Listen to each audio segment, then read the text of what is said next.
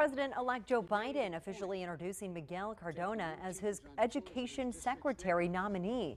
Now, we told you yesterday Cardona is a former public school teacher and the education commissioner for Connecticut. He was appointed to that post just months before the pandemic hit and has spent most of the past year helping students adapt to e-learning.